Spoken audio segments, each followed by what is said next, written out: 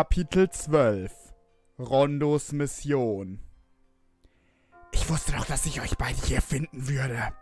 Aufwachen, ihr zwei! Rondos Weckruf ließ mich aus meinen Träumen aufschrecken. Offensichtlich war ich noch am Cliff eingeschlafen, genau wie Mira, die neben mir gerade wach wurde. Es freut mich zwar, dass ihr euch offensichtlich vertragen habt, aber trotzdem müssen wir heute noch weiter. Ich habe vor, innerhalb der nächsten zwei Wochen diese Reise beendet zu haben. Innerhalb von zwei Wochen, solange wie es bis zu diesem Punkt gedauert hatte, war diese Planung ziemlich knapp, wenn man bedenkt, dass wir noch drei Tiere finden wollten, wozu wir erst einmal einen anderen Kontinent bereisen mussten.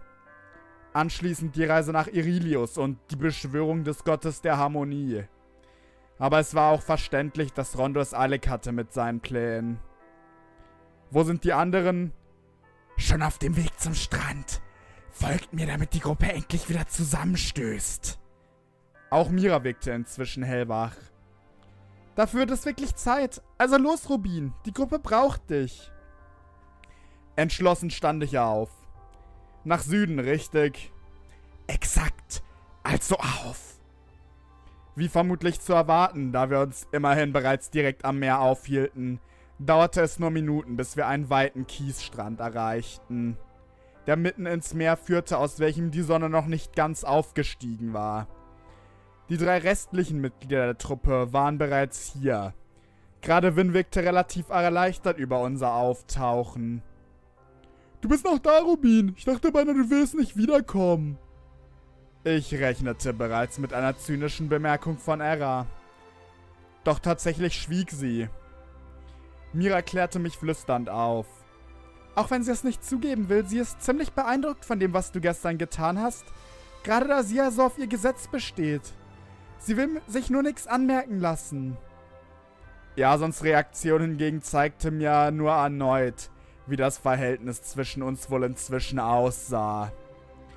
Es überrascht mich auch. Ich dachte, gestern Abend hätte gereicht, um dich zu verscheuchen. Das hätte es auch fast. Aber zum Glück gab es noch jemanden, der mir gezeigt hat, dass nicht jeder mir, mich für Schmutz hält. Der Schock in seinem Gesicht überraschte mich ehrlich gesagt ein wenig. Ein weiteres Wort kam jedoch nicht. Zumindest nicht von ihm. Also, Jason, wir sind am Meer, du weißt, was du zu tun hast.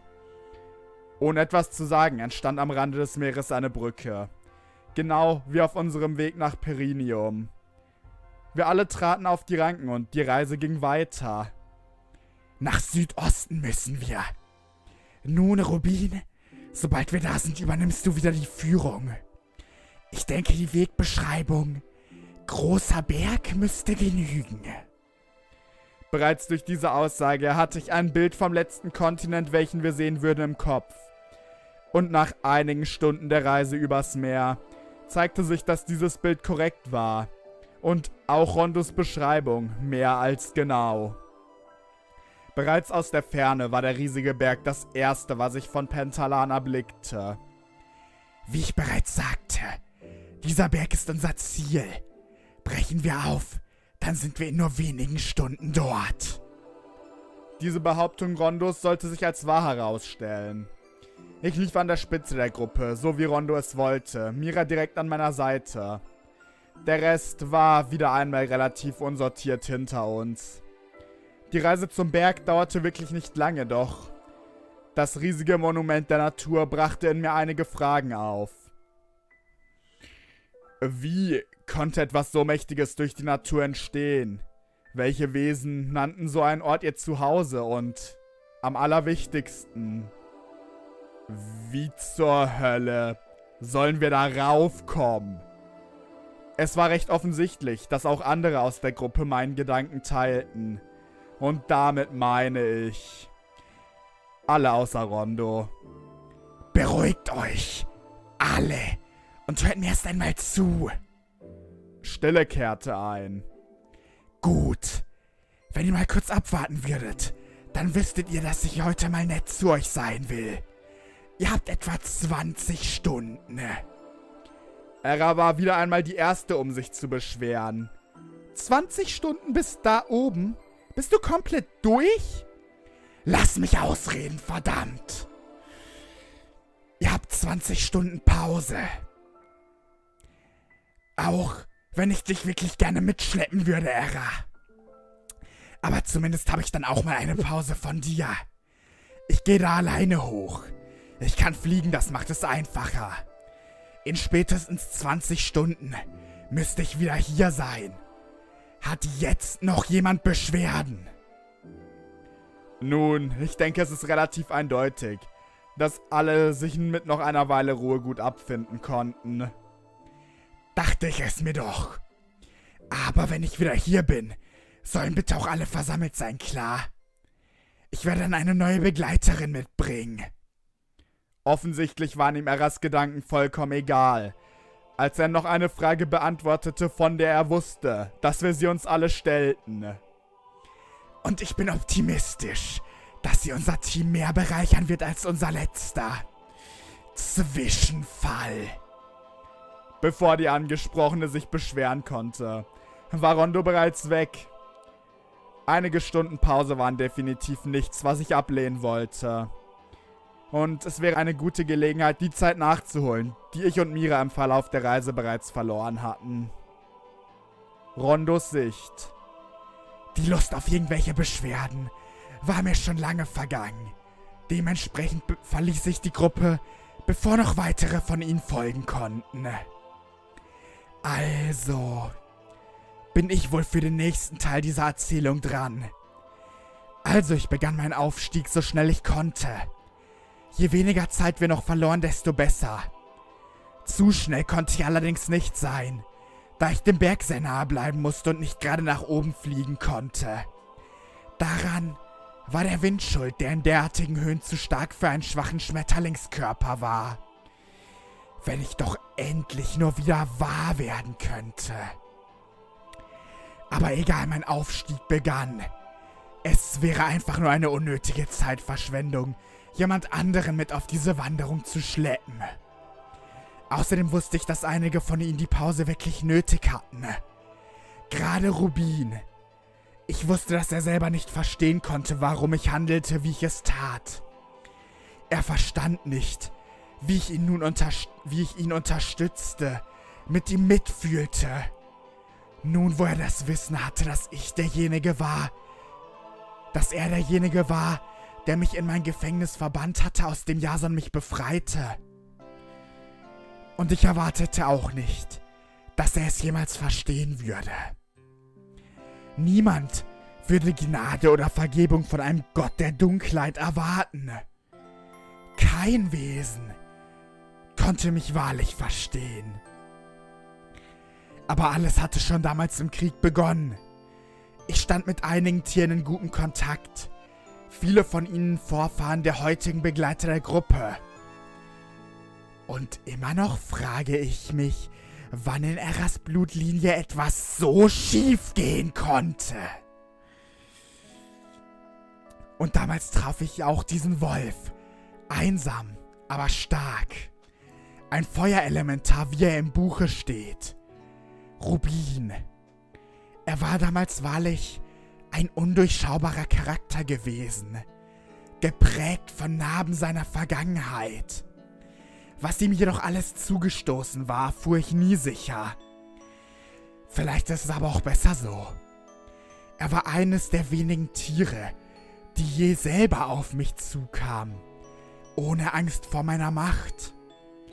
Er sagte, er wolle sich mir anschließen, im Kampf gegen die Menschen, die ihm alles nahmen. Das waren seine Worte. Bereits damals erkannte ich eine gebrochene und doch reine Seele. Es war zugleich das erste Mal, dass jemand wahrlich Teil des Krieges werden wollte. Von daher überlegte ich gar nicht erst wirklich, ob ich ihn aufnehmen sollte. Das Feuer in Rubins Augen überzeugte mich. Der Wolf, der sich als Rubin vorstellen würde, wurde ein treuer Begleiter im Verlauf des Krieges. Selten kämpften wir zusammen, doch er brachte eine Sache in meine Existenz, die auch diejenigen, die ich manchmal sprach, mir nicht bringen konnten. Ein Gefühl. dass ich nicht alleine war. Und eine Bestätigung. Meine Taten waren rechtens. Half mir die Botschaft meiner Prophezeiung in die Welt der Tiere hinauszutragen. Die Worte der Hoffnung für alle. Die Worte über eine gebannte Gefahr der Zukunft. Über Hoffnung für alle Tiere. Mir erzählte er mir etwas über sich, doch ich fragte auch nicht. Es war schon immer meine Einstellung gewesen. Nur ein Wesen, das jemandem freiwillig etwas erzählt, kann dies ehrlich, mit Leib und mit Seele tun. Und dass Rubin nicht derjenige war, der viel Vertrauen schenkte, sah ich damals bereits. Auch machte er sich durch meine Worte und seine Art einige Feinde im Reich der Tiere. Doch es alles, es alles schien ihm vollkommen egal.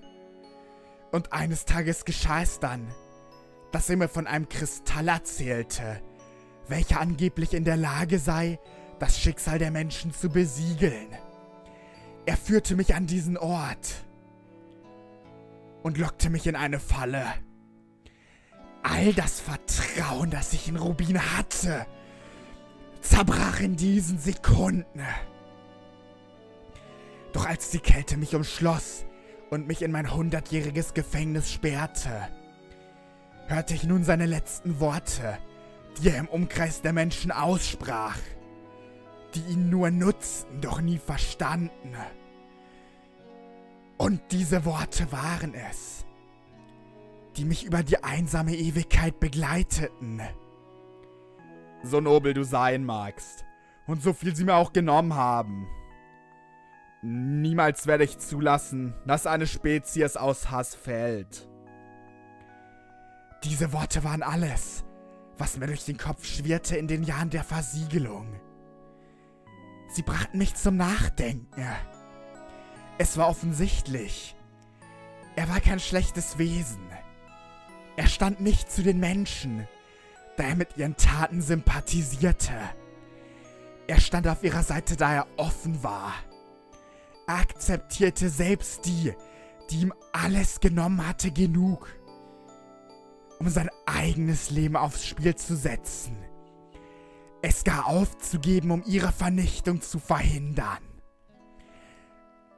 Sie hatten ihm alles genommen, und er nutzte sein ganzes gebrochenes Leben im Geheimkampf gegen ihren Feind.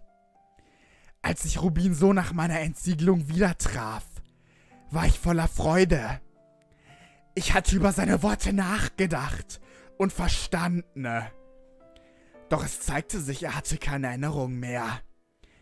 Er war nicht mehr derselbe Rubin im Inneren, nur körperlich. Und nun zu sehen, was für ein Tier derjenige war, dessen zerstörtes Leben ich einst sah, erfüllte mich mit Freude. Immer noch brannte dieselbe Leidenschaft in ihm, doch seine Seele war nicht mehr gebrochen. Dass nun die neunte Generation der Familie meiner alten Freunde der Berenus-Blutlinie. Oder um es simpel auszudrücken, Mira an seiner Seite war, verstärkte dieses Gefühl nur. Doch es schmerzte. Es schmerzte das Wissen zu haben, was sie verlieren könnten. Sollten die beiden einen falschen Schritt gehen. Und diese Erzählung waren letztlich auch genug, um die ereignislose Reise auf den Berg komplett zu überspringen.